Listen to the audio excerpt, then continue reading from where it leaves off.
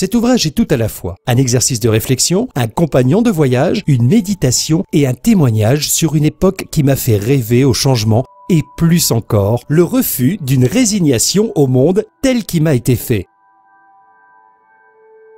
Une aventure intellectuelle, l'exploration du même, du proche, du lointain, un départ à la rencontre de soi-même, car je est un autre, comme nous le disons et redisons encore avec Arthur Rimbaud.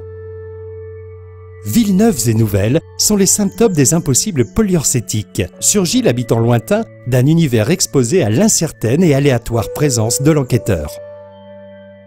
Gérard Teyer, docteur qualifié en sociologie de l'Université de Nantes et professeur honoraire, considère avec intérêt les enjeux de son temps et plus que jamais le problème d'une mondialisation féroce qui arrache le social à l'humus du local et institue l'absence d'un individu en panne.